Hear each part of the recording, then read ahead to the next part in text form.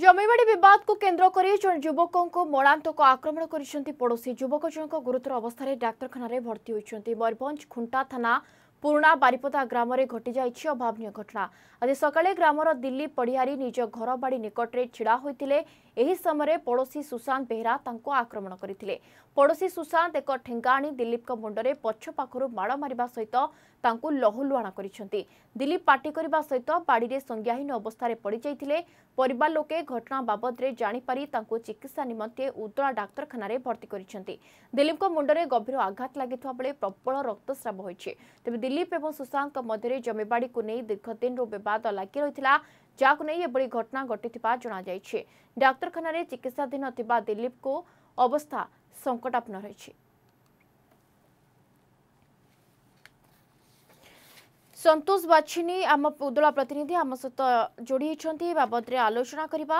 ସନ୍ତୋଷ ଜମିବାଡ଼ି ବିବାଦକୁ ନେଇ ଯେଉଁ ଆକ୍ରମଣ କରାଯାଇଛି ପ୍ରକୃତରେ ଏ ଦୁଇ ଜଣଙ୍କ ମଧ୍ୟରେ କେତେଦିନ ଧରି ବିବାଦ ଲାଗି ରହିଥିଲା ଏବଂ ବିବାଦ ଆଜି ଯେଉଁ ଉଗ୍ର ରୂପ ନେଇଛି ଯାହାର ଚିତ୍ର ସାମ୍ନାକୁ ଆସୁଛି ପୁରା ଘଟଣା କିପରି ଥିଲା हाँ नवेदिता आम जदि कह ये दीर्घ दिन धरिकी जमी बाड़ बद जहाँकि जमी बाड़ बद ये पुंजीभूत होता जहाद्वर कि आज ये मानने गोटे उग्र रूप नहीं पार एमती मानने ये गंडगोल होद्वर कि बाड़े बाड़े बाड़े बाड़े मानने नृशंस भाव में प्रहार होती जहाँकि सी आसिक उधवा मेडिका बर्तमान चिकित्साधीन अच्छा पुलिस घटना स्थल में पहुंची तदंत आरंभ कर बाबद मानने आई गंडगोल तीव्र हम जहाँकि ग्रामवासी मैंने कहते कारण यही गंडगोल ଏଇ ଯୋଉ ଜମିବାଦ ବିବାଦ ଏ ଆଜିକାର ବିବାଦ ନୁହେଁ ନିଜର ମାନେ ନିଜେ ପରିବାର ଭିତରେ ଗଣ୍ଡଗୋଳ ତୀବ୍ରତର ଧାରଣ କରିଛି ନିବେଦିତା ସନ୍ତୋଷ ତେବେ ଜାଣିବାକୁ ଚାହିଁବି ଯେ ଦିଲ୍ଲୀପ ଯେହେତୁ ବର୍ତ୍ତମାନ ତାଙ୍କ ଅବସ୍ଥା ସଙ୍କଟାପନ୍ନ ରହିଥିବା ଆପଣ ସୂଚନା ଦେଇଛନ୍ତି ଯେ ତାଙ୍କୁ ମେଡିକାଲରେ ଭର୍ତ୍ତି କରାଯାଇଛି ତେବେ ବର୍ତ୍ତମାନ ତାଙ୍କ ସ୍ୱାସ୍ଥ୍ୟାବସ୍ଥା କିଭଳି ରହିଛି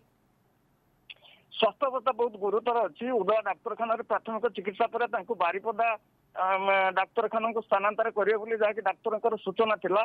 ତଥାପି ଡାକ୍ତର ଏଠି ତାଙ୍କୁ ଚେଷ୍ଟା କରିଥିଲା ଏଠି ଯାହା ପ୍ରାଥମିକ ଚିକିତ୍ସା ଏବଂ ଯାହା ତାଙ୍କର ଔଷଧ ଲାଗିବା କଥା ସେମାନେ ଲଗେଇକିରି ତାଙ୍କୁ ବାରିପଦା ସ୍ଥାନାନ୍ତର କରାଯାଇଛି କିନ୍ତୁ ବର୍ତ୍ତମାନ ସୁଦ୍ଧା ପୋଲିସ ଘଟଣାସ୍ଥଳରେ ପହଞ୍ଚି ଉଦୟ ଡାକ୍ତରଖାନାରୁ ପୋଲିସ ଯାଇକିରି